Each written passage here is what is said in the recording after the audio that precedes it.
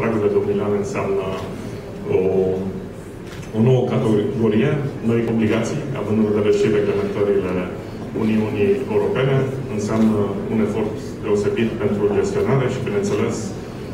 înseamnă continuarea investițiilor uh, pe aeroportul internațional uh, Cluj.